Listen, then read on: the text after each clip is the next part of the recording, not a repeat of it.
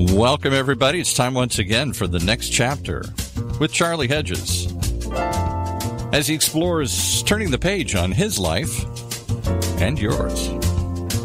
Hey, Charlie. Hey, Paul. What a fun show we have for our listeners today. My guest, world adventurer Alex Yost, takes us from living the high life in Medellin, Colombia, of all places, to exploring new species of life in the Galapagos Islands, and then how he founded a business for transporting priceless artifacts for the richest of the rich. And in the midst of all of this, Alex reveals that how through these adventures he has attained a peaceful inner life filled with deep spirituality. So, let's join the conversation as we take a look at the world according to Alex Yost. Alex Yost, adventure extraordinaire. Welcome to the next chapter with Charlie. Charlie, what a pleasure. Always great to talk to you, my friend. Yeah, it is. You know, Alex, I was thinking about it, and we met five or six years ago when your nephew, Ryan Buchter, and my son were playing baseball together for the San Diego Padres. Now, neither one plays for the Padres. Uh, and uh, where is Ryan now? Ryan is with the uh, Arizona Diamondbacks in spring training right now. Austin's with Cleveland, and he played San Diego today. Oh, in, that's funny. In yeah. spring training. Yeah, he had a great game. That was good fun. Now, good. at the time we met, you know, I thought you were a real estate guy, and because you were doing real estate in the Phoenix area, and uh, even back then, my wife and I were thinking of moving to the Phoenix area, Scottsdale area, and we're still considering it now. But you were in real estate, but that wasn't for a long time, was that? Well, Charlie, I, I, I had my real estate license for quite a while actually because I had some properties that I wanted to sell myself. So for me, it made sense to pay four hundred dollars and, and not have all those commissions when I'm selling properties, right? So, well, it, this morphed into a career because um, I had just been around the Phoenix area, Scottsdale area, and I, I just knew the lay of the land. I had great contacts, and just sort of naturally was a, a good uh, a good place for me to be at that point in time. But um, yeah, shortly after I, I, I sold everything in Phoenix uh, in Scottsdale, and I, I um, I traveled and um, and I've been traveling and, and I've done that. I, I started the traveling bug back uh, in the mid 2000s, but really since 2017, I've lived out of the country longer than I've lived in the country, uh, with the exception of last year, of course, because of the world events, as we all know. Yeah, and I... uh, some family issues. But other than that, um, yeah, it's been a been a pretty nice um, experience uh, that I've had. You know, in, with different cultures. I don't, I don't, I don't do your typical traveling Charlie. I don't, I don't go say to Thailand and and uh, spend time at all the tourist spots. I go and I immerse myself in the culture pick up the, the social cues, uh, meet people from all over the world, stay for three months at a time, three and a half months at a time, stay in an Airbnb, really have a full experience. I'm trying to get the most out of it, squeeze the most I can out of that experience. I find that vacation traveling leaves you a little empty. I mean, I, if I want to go to the beach, you know, I can go to the beach pretty much anywhere in the world and have the same experience of drinking margaritas on the beach and you know that kind of thing and staying at a hotel. You know, I, I want to be able to actually get under the fingernails of the people that that live there, you know, and and find out what makes them tick, and really immerse myself. I ended up going to South America, knowing probably a handful of words in Spanish, which was interesting and well, well, excuse me, but look at the countries down there. Look at the countries yeah. you went to. I mean, I, I, have Costa Rica, Nicaragua, Colombia, Ecuador, uh, the Galapagos Islands, and then, like you said, Thailand. And you know, that's that's quite a wide array of countries to experience. Every country had its own nuance, had its own uh, amazing qualities. Obviously, the Galapagos is known for adventure travel um, and I was fortunate enough to start a business there. where I could put tour packages together for North Americans so they could experience sort of the same things that I was.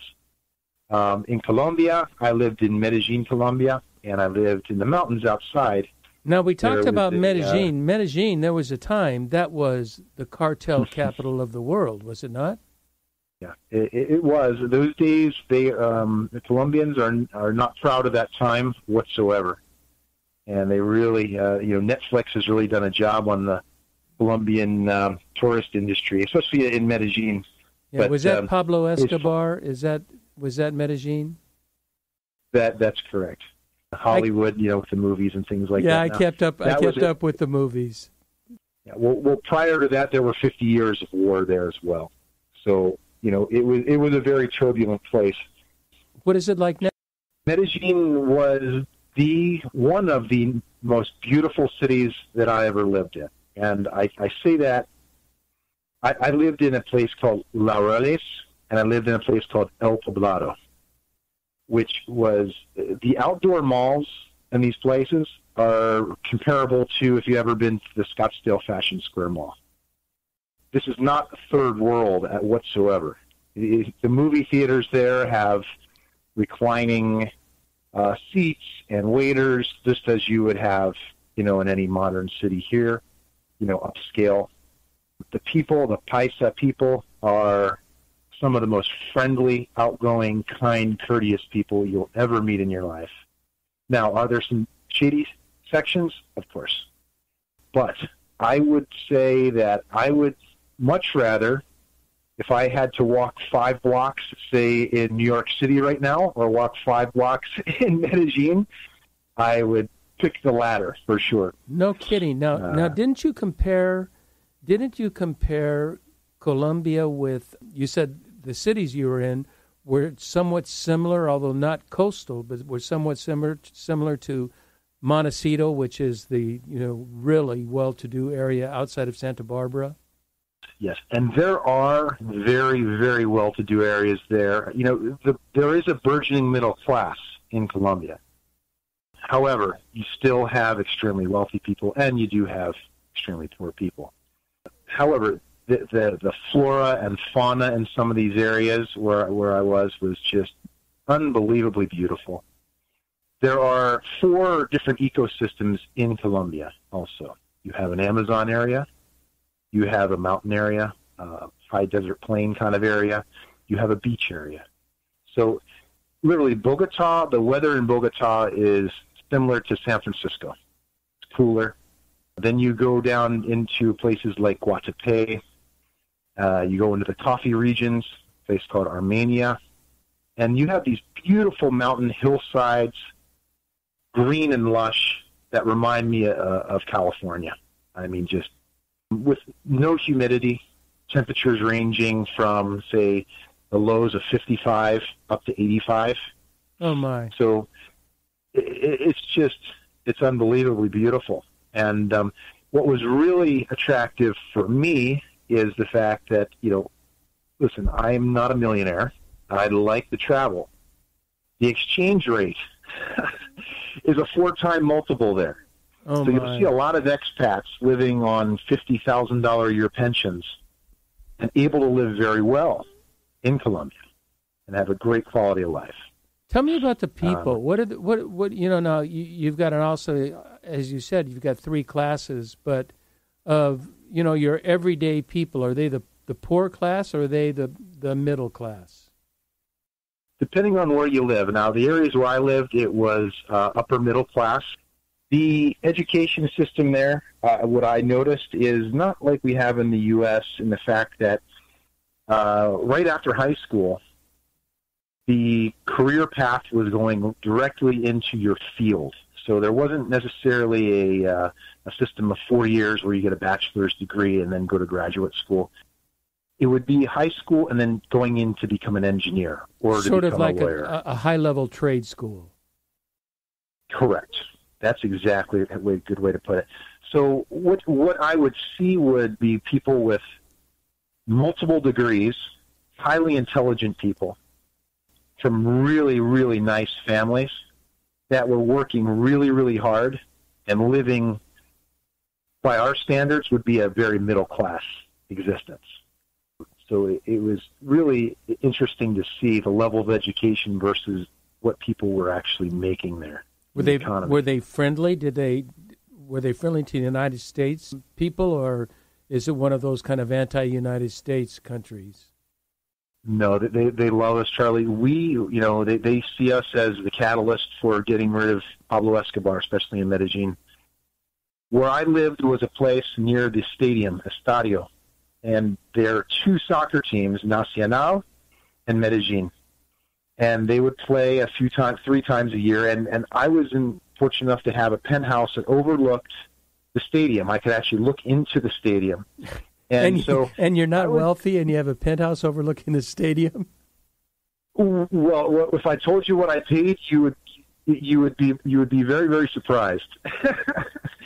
that that's the the exchange rate uh, leverage we're talking about. Yeah, so uh, it's pretty cool. But I couldn't walk down the street, Charlie, without somebody saying "Gringo, ven aquí," and all of a sudden I'd come over and uh, there would be a shot of um, they call it aguardiente or guaro. It's a kind of a liqueur, kind of like sambuca. I could be in my gym clothes, walking my dog, and uh, yeah, I would go over, and I couldn't escape, you know, someone coming over and trying to talk to me. Outdoor cafes, the weather again being so perfect. And there's patio restaurants everywhere, cafes. Well, you've uh, just very put social atmosphere. You've just put Colombia and Medellin on my list of places that I want to spend some time in. you know what I'm curious about? What I really would love to talk a bit about because I think a lot of us here in the U.S. are really curious about the Galapagos Island. You know, it is the islands. You know, they're so strange, so so so mysterious, and and to us, I don't know how true this is, but they seem to be sort of the epicenter of evolutionary development, and so lots of keen science that's going on there as well. Tell, tell me about what was your experience like on the Galapagos Islands? Well, to your point, Charlie, there's new species of marine animals found every day there. 360 plus marine animals, new species found there a year. No way. Pretty amazing. Are, are they are, are, they are they marine yeah. or are they on land? No, this this is the underwater stuff. This is this okay. is th- these are the new um, seahorses or the new variety of of sea cucumber or wh- whatever there is. It is absolutely an amazing. What you have is a confluence of the currents there, cold currents from South America, and then the warm currents around the equator. And these are volcanic islands, uh, and it is absolutely incredible when I can't even describe to you when when you when you see an iguana that actually swims underwater and is eating algae and then comes up and then lays and suns itself when you go uh, and you snorkel with sea lions that maybe have never seen a human being in their life and they're coming up and they're more inquisitive than a human being is when you're snorkeling with these things, they'll come right up to you and say, "What the heck is this thing in front of me?" It, you can't even describe uh, the the um, the experience. It's very rustic. You're not going to have the four seasons there, so you need to be ready for that. You know, obviously, but I say, what a bummer! No snow. no snow, no snow whatsoever. You know, the seasons there too. There really isn't a down season, so for tourism, it's it's really nice. I mean, I think August may be a really awesome time to go. Now with COVID, they've downsized their fleets as far as um, the tours go that that are uh, the, the ships. Okay, so if you're if you plan on taking some sort of cruise there or one of these semi-private cruises where there's 14, 15 people on uh, the ships. Usually, that's not a good way to go. Now, the real nice thing that we had is, you know, my connections actually owned an eco lodge on um, Santa Cruz Island, and so what we were able to do is fly people into Baltra Island, which is right next to Santa Cruz, stay at our uh, eco lodge, and then do day trips. So a two and a half hour boat ride on a 42 foot boat, which is kind of like a I'd say a fishing boat with benches on it almost. Yeah, that's a know? good sized boat. You, a 42 foot boat is a good sized boat. Yeah, yeah. and uh, you, you get out to the different islands. Um, Santa Fe Island is where I saw the sea lions. You know, that's where I had my interactions there. What I really like about the islands uh, is that everything runs like clockwork. The uh, Ecuadorian Navy is involved in everything. We actually, I had I had a one I had a sort of a an event that could have turned into something really really bad. Our, our boat was taking on water. Our small boat when we were in the middle, maybe an hour hour and a half out in the middle of the ocean there. Oh my! Yeah, there were about thirty-five of us on the boat, thirty of us on the boat. Any panicky Yeah, it got a people? little sketchy, but well, we had to be rescued, and and you know we lucked out. I guess. we we ended up being rescued by a um, a cruise ship that was we put it this way when we got on the ship we were offered hors d'oeuvres and uh, you know champagne so it, wa- it wasn't a bad spot to land let's put it that way. So, it um, a travel we up lucky. a travel upgrade? Yeah, yeah, that was a travel upgrade for sure. But these are these are the fun things, and the, this is what makes the experiences so rich. And especially going to these places, you know, none of these cookie cutter vacations where everything flows really well. Heck, sometimes in South America, the flights just don't run. The trains don't run on time everywhere, obviously, and you know, you just got to roll with the punches, and you can't get worked up about it. You just got to go with it, and um, you know, you've been to Hawaii, everything's on Hawaiian time in Hawaii. That's kind of the way it is, you know, in, in South America in many regards. You just have to kind of just uh, go with the culture and and uh, and fit in and enjoy the ride. And that's what it's all about. You know, we're planning a trip that's sort of in between that in this September, and we're going to uh, a little bit of time in Portugal, but then we're going to spend some time in Spain and some time in Italy, and and I want to uh, go and be able to pray with the saints. So we're spending some time in Avila to to visit Saint Teresa of Avila's convents, and and while my wife shops, I'll be at the convents and the monasteries, and then go to um, Umbria in Italy, where Assisi is, and Saint Francis of Assisi, and so it's sort of a sort of a combination. It has it has the nice shopping and the nice playthings that my life wants my wife wants to go to, but it's not that she's not interested in spiritual a- adventures, but but that's where I'm not I'm not interested in shopping, but it is sort of you know we have a week in uh, Assisi and it's really unplanned. We're we're going to pick a place to stay and then choose our days as they go along, and I Yeah. I, I like traveling that way rather than you know that old movie it's Tuesday so it must be so it must be Paris, you know the the, the strict the strict tourist schedule.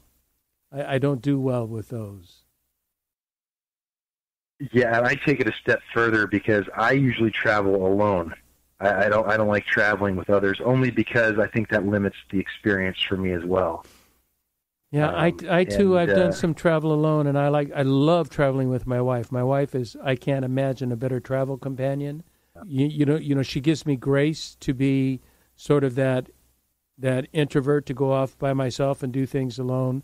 But when I do travel alone, eh, and it's not that frequent, but I went to um, I went to see the Northern Lights and spent time in northern in northern Europe in Sweden and Norway and I was by myself and I just loved that because it was totally free. I had I had nothing planned. Mm. What is it that drives you to be such what I'm calling an inquisitive gypsy? What is it that makes you want to live the gypsy life? Personality traits are openness, and I am an extrovert. So those things, and, and that's that's just in my DNA, Charlie. I just I can't not be that person. That I realized that you know after college, I moved to Arizona from the East Coast with five hundred dollars in my pocket, and I knew one person in Arizona. So, you know, I, I've always had that sort of thing, and even in college, I mentioned. Um, I think we talked about this before in another conversation we had, but you and I have something in common, although probably decades apart, is the fact that hey, I I traveled, I watched uh, I watched a lot of Grateful Dead shows in the early '90s. you know, when I was going to school. I, I would see these people and how free, and I saw what really liberating uh, liberalism was about. You know, being being just uh, you know being able to live and sell veggie burritos, you know, and travel and and live your lifestyle the way you want it to. And there's something that just drew me to that. Um, and uh, I didn't come from that sort of background whatsoever. I had a very very traditional upbringing. East Coast, um, you know, private school, you know, whole nine yards. Uh, college athlete, four year degree in business, and you know, I was all set to have the corner office with the nameplate eventually, and that just wasn't in the cards for me. I ended up starting a moving company in Arizona. Yeah, you got to tell us about the moving, you've got to tell us about the moving company. You know, moving well, Ming Dynasty vases. I mean, this is I you know I still can't get over that. Well, Charlie, this business started as a summer job in my in my early twenties, uh, just delivering leather sofas in Scottsdale because my friend had a box truck and he needed the payments made.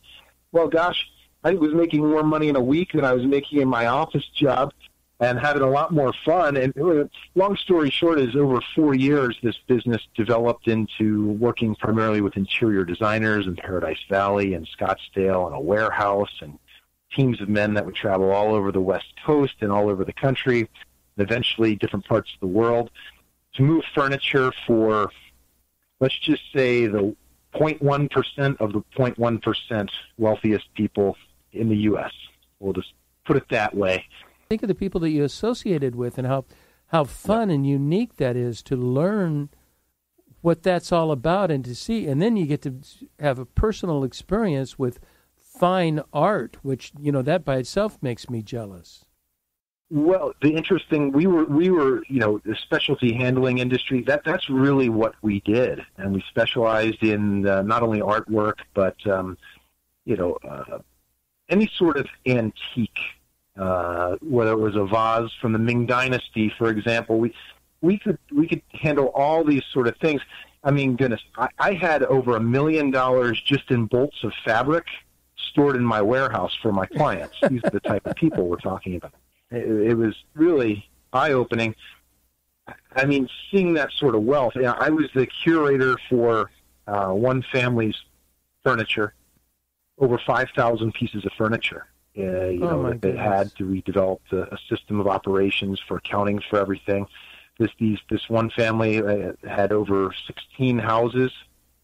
Um, San Francisco, Montecito, Puerto Rico, you you name it. Uh, they had a a seventy million dollar ship that they would dock in Galveston sometimes, sometimes in Miami, and uh, yeah, we were able to um, you know handle everything professionally. Now, here's the funny thing: it's I considered it being like an offensive lineman in football. You had to do your job correctly 100% of the time, and you got really, really not a lot of credit for it. The one time that you screwed up, the camera's on you, and all of a sudden you're pulled out of the ball game because you know the touchdown's pulled back because you had a holding call against you or something I like know. that. Okay? Yeah, that, that's the stress of that has to be just enormous.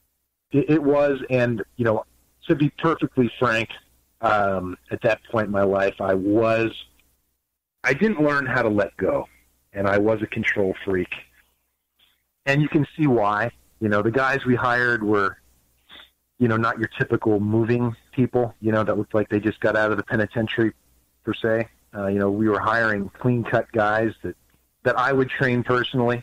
You know, I had a whole protocol for how to act in people's homes. Look, we're not friends with these people, I would tell my guys. You know, we were pretty much butlers in, in homes where we would go. So, you know, the interior designer says one one inch to the left, one inch to the right with the sofa. That's great. Yes, ma'am. And um, you know, we're out of there. You know, and uh, we charge by the hour. We made a, I made a very good living doing that. Um, we charged, you know, for storage. We're able to crate and ship furniture all over the world. Um, but it got, you know, it depends how you quantify success. Coming from you know, a guy that had really nothing, almost living out of his car, to, you know, being able to accumulate, you know, something and, and, and being very proud of that, but still feeling empty. Yeah, it and, feels like and it, not it feeling like, like I, I really had, you know, this material success, and, and granted, we're talking, you know, again, I'm not talking, um, you know, millions and billions of dollars like my clients had, but experiencing a success from zero to, to that, uh, you'd think that I would have some sort of ability to sit back and smell the roses, but no, I, I, I couldn't do that, Charlie. There's no way. I, I started getting into um, Muay Thai and mixed martial arts and physical training uh, to where I'm, you know, extreme hiking, all kinds of different things to kind of push myself and still feeling empty, you know. And so I realized that it's a spiritual thing for me. And, you know, yeah, the spiritual to, battle that life is. Talk to me about that. Talk to me know. about that spiritual battle. Yeah, well, my thing was um, I had to learn to let go, but not just of just control over my business, but I had to kill my ego and to live without judgment and attachments. And uh, the way I did that was was really interesting in the fact that I discovered that my thoughts and were all lies, whether they're good or they're bad, and they come from a deception, a point of deception, or a deceiver no matter how you categorize that. You know, but some point where you know you need to watch your thoughts and kind of like watching a television show, being able to observe your thoughts and understand that you know those thoughts are are false. They're lies. And once you can do that, you can control your emotions, you control your feelings, insecurities, all these different things that people take uh, you know, drugs for and go to therapy for. These are these these things all can be controlled, and and this this is what I've done. I've been able to do that through meditation and primarily through a connection that I found with God. You and know I what I- told you, you- before, You, I- you, I'm no you, Bible know, you know what I want to I'm do. not. I, I know you're not, and and I want to talk about that spiritual connection, and that's sort of a transition period. What I'd like to do is take a break right now, and it won't be long, and we will be right back to continue on with the spiritual transformation.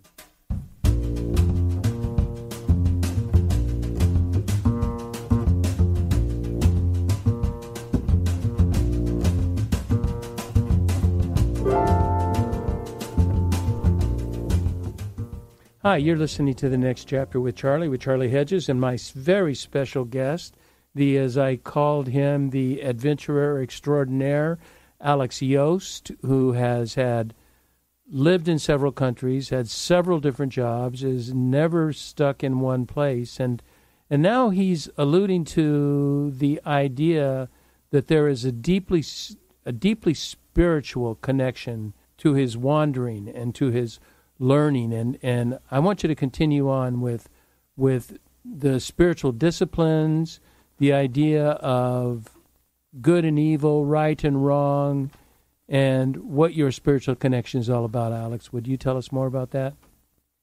I, I certainly can. Yeah, the um, what it boils down, Charlie, for me is with all the with all the traveling and and the different things that I've done, the experiences I've had as an entrepreneur, still feeling empty.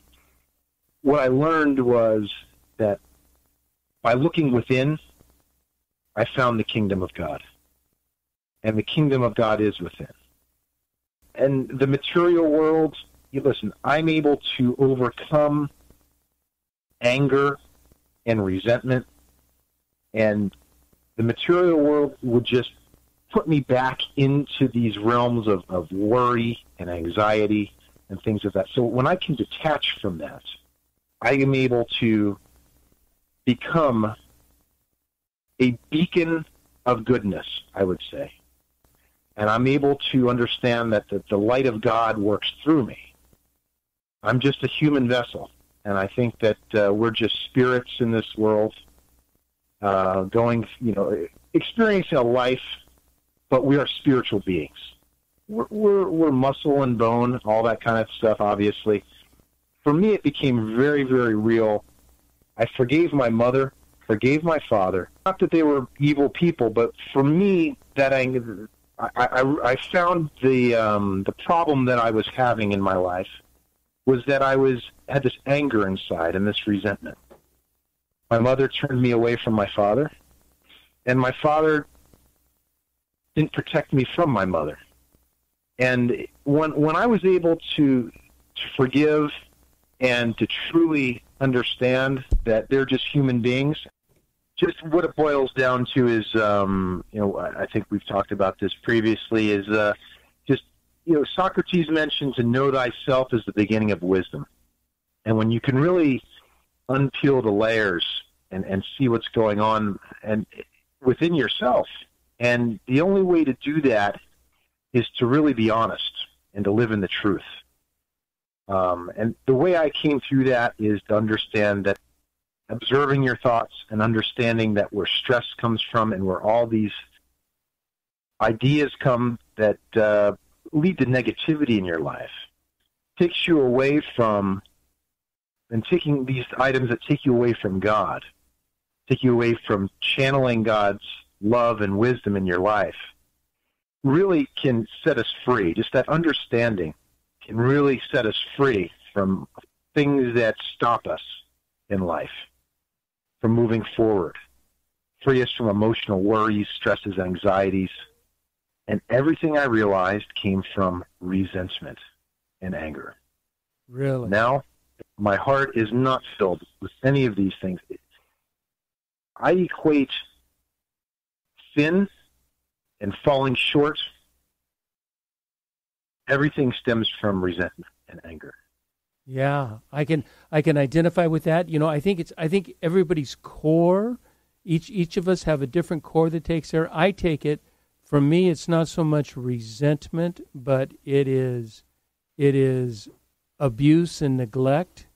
And then I didn't so much resent that, but I just felt the pains of it and the difficulties of it and I had to look at that through different eyes. You know what's really amazing me is what you're talking about the spirituality you're talking about is exactly, I mean, it's, it's very, very close to what's known as uh, Christian mysticism. And the mystics all talk about uh, abandoning the ego. They call it abolishing the ego, getting rid of the small self, the, the egocentric, selfish, I need to take care of myself, small self, in order to give room for the larger self and the larger entity we call God to take that space. And those are the kinds of things that you're talking about. And I love the Socrates quote. I, I, you know, to know thyself is the beginning of wisdom. Uh, Saint Teresa of Avila writes about that a lot. She talks, she talks much of her writing is talking about self knowledge, and through her seven mansions of prayer, that each mansion you are going deeper and deeper into self knowledge and as she and St. John of the Cross will both write about abolishing or annihilating the ego. So this is these are these are not just these are biblical truths, these are world truths. I think these are life truths. No matter what theological perspective from which you approach them, they are life truths because other religions focus on them as well. Yeah, I mean, even Eckhart Tolle talks about living in the now and the present. Yes. And you know, when when you meditate on in, in God's word and and you you you're able to be still and know, you're able to live in the now. There is no past. There is no future. There is just this very moment. And that's when you connect with God, in my opinion. That's when I do. That's when I find my connection in my mind's eye. You know, a spiritual teacher, oh, if if I may, a spiritual teacher loves to take the mantra that takes him into that takes him into meditation is he repeats he repeats this mantra be still and know that I am God be mm-hmm. still and know be still be you know you just take each one of those in, in successive steps and and those mantras take him into a to a place into a meditative space. And, and and that's exactly you know I have my tools to do that um, that I've sort of developed and and just through teachers that I've run across. And yeah that's exactly what I do every morning and every night. And when I do that it seems like my world comes together. I don't I don't have aspirations Charlie to really do anything except be And what I've found is that things come my way now. I, I don't force them. I don't worry about things. And I'm meeting amazing people. I'm interacting with not only just successful people, but really people that I can, people of character that I can, that I can really learn from in a lot of ways. Um, I have job opportunities coming my way now. I have, you know, I'm living in Tampa, Florida now, exploring a new existence here, and just really excited to wake up every day, kind of like a kid on Christmas, waking up ready to seize the day. I have and never heard anybody from I've never heard anybody from Tampa, Florida saying I wake up in the morning thinking about seizing the day. That is that that shows that shows a little, your, little laid back here. As I've listened to to what you said today and our previous conversations, you seem to live a fearless life in that you have the ability to change quickly while also knowing when it is time to stay put for a while. There's a time for change and a time for staying put. How do you know the difference? How do you know when it's time to move on and when it's time to stay put? Is is it all intuition, or is, are there any criteria that you use? That is very intuitive, uh, intuitive nature that I've developed, Charlie. And, and the reason why is because I find that my feet are firmly planted in the sand. And I, I, the winds of life and the tr- trials and tribulations of life can try to bend me one way or the other. And I kind of know when it's time to pick up and move on and where there's maybe another opportunity and I've been able to sift through that information uh, again just by being really just knowing myself again and understanding that I am an extrovert. I'm able to flip the table up uh, and, and disrupt my entire life and then recreate my life out of that chaos. And I have the confidence to do that. And you, know, you have the need so to create times. chaos too. I mean, I I function really well in chaos. I don't try to create it necessarily, although I will, but I am my best self in in chaos. That is when the, the truest me and the best me comes out because uh, I am I'm removed from any choice in the matter. I just have to make a decision and move on. I heard somebody once say, and I'm not not sure who they were quoting, but I love this quote. It says, Prayer is when we communicate to God. Intuition is when God communicates to us. Mm. Yeah. I like that. That that's a wonderful way to put that. Isn't that isn't that a, I love that. Yeah. Love yeah, because we can't we you know God doesn't deal in text messages and emails. You know, it is it is an intuition. It is sort of a I don't want to call it a feeling, but there is a there's something going on inside that is a message inside.